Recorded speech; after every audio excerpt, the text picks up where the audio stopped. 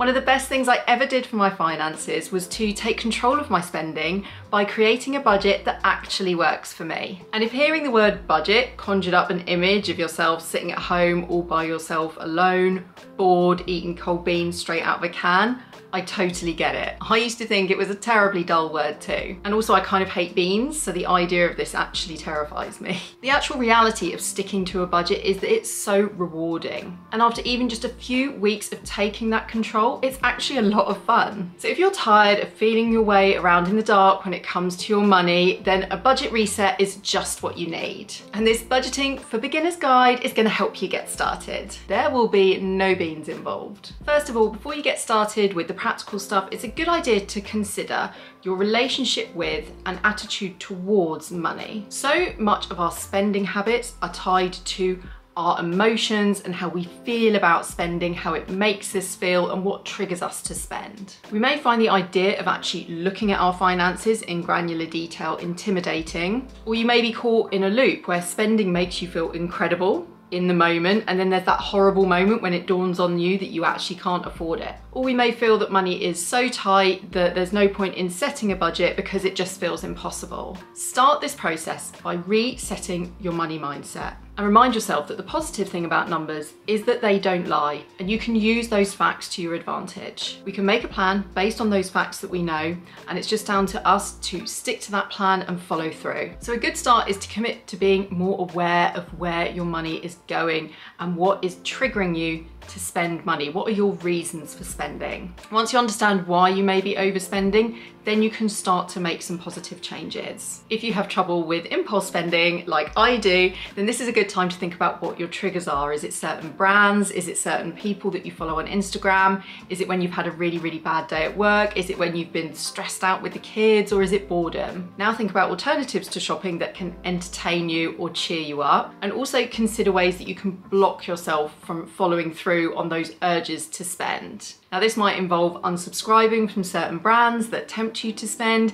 It could even involve deleting your card details from your smartphone so that if you were to buy something you'd have to actually physically enter the details and that just creates a little bit of friction in the purchasing process. Remember that there is no purchase that can feel as good in the long run as being in control of your money. Now let's get on to the practical stuff. First of all, if wrestling with your budget feels like a daunting task, you can make it super easy by getting help with analysing and tracking your spending thanks to the Emma Premium Budgeting app. After linking your bank accounts, credit cards and other financial accounts, you can use the app's fantastic features in order to track and analyse expenses, in order to ultimately feel confident when you do spend your money. Emma organises all my transactions for me and tells me my average spend per category. And Emma also lets me know what I can afford to spend before I head out the door. This is such a useful reality check and I just love the way the app looks and how easy it is to navigate. I can see how much I've spent at specific brands and I've been using this to challenge myself to bring down my Tesco spend.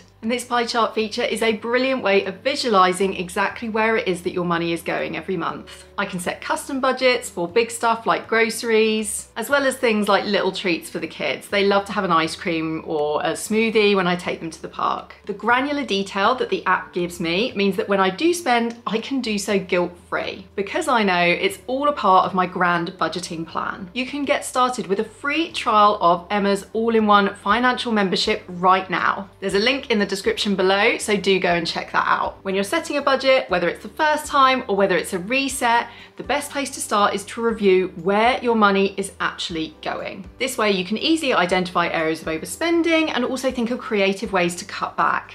You can only make changes once you're armed with the information of where the money is actually going. Start with all of your fixed expenses. That's all of your direct debits that you're committed to on a monthly basis, as well as annual bills. Fixed expenses include things like your mortgage or your rent, childcare costs, energy bills, your insurance, car payments, subscriptions, and things like kids after school clubs and classes. At this stage, you may already see a few red flags, which is great, but don't worry if you don't because we're only just getting started.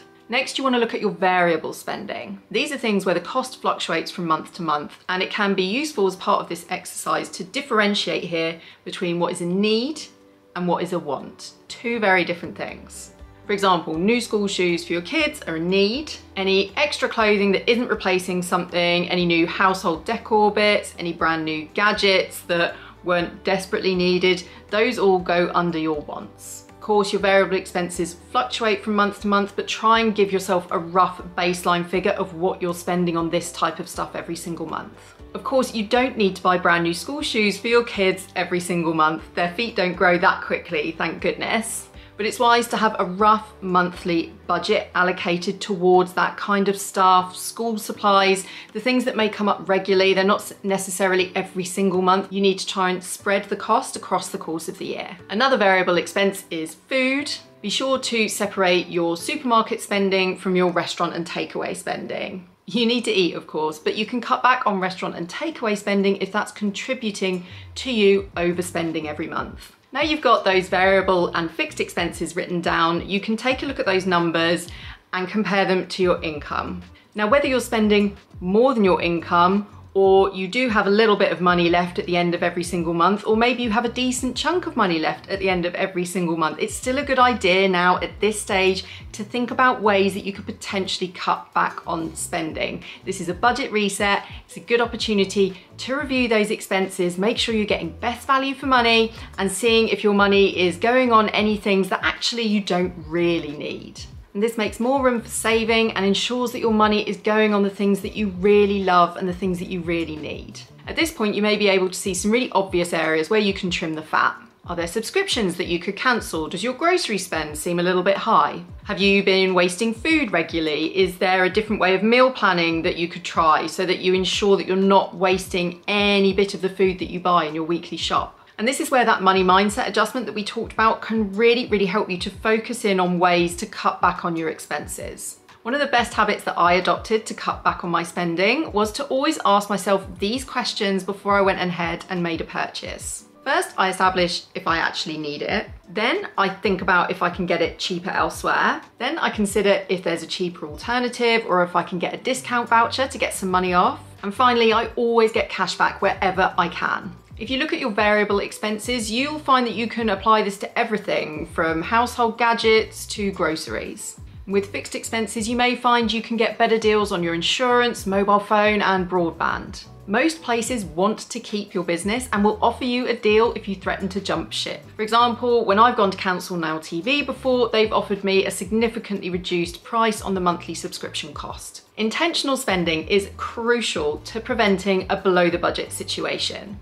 It simply means that you are prioritizing certain things in your budget and making clear choices when it comes to spending your money rather than knee-jerk impulse purchasing, which puts you at risk of overspending. Once you've established where your money is going, and figured out a budget to help you spend below your means.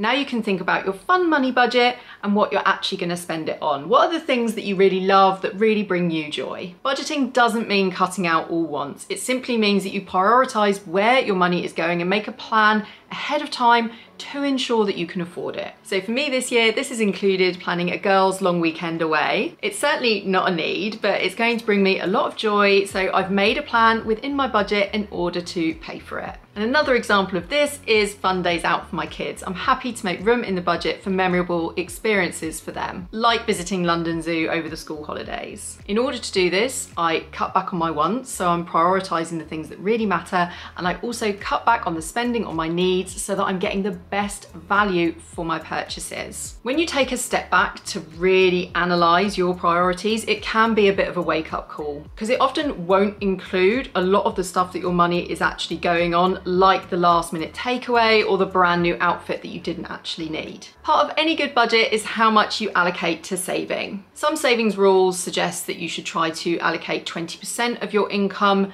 to saving.